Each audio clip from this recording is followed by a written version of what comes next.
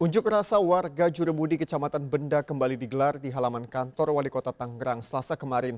Kali ini unjuk rasa kembali diwarnai kericuhan saat masa yang meminta bertemu Wali Kota dihalangi petugas.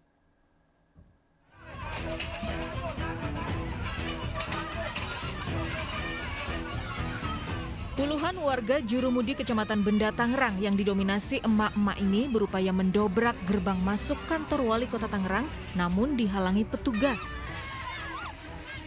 Sejumlah warga pun akhirnya berhasil masuk ke dalam kantor wali kota dan dikejar beberapa petugas.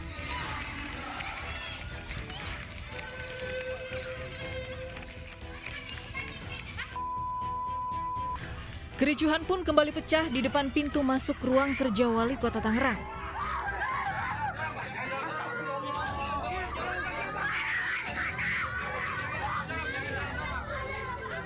Unjuk rasa warga Jurumudi ini merupakan kedua kalinya digelar di kantor wali kota.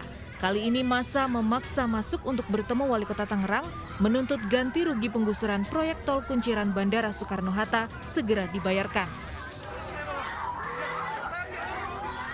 Warga mengaku tidak terima jika uang ganti rugi yang dibayarkan hanya berjumlah 2,6 juta rupiah. Saat ini sepertinya memang wali kota juga terkesan tutup mata terhadap persoalan yang ada. Kami dari masyarakat, korban penggusuran hanya berharap satu dari pemerintah. Pemerintah hadir di tengah-tengah persoalan masyarakat.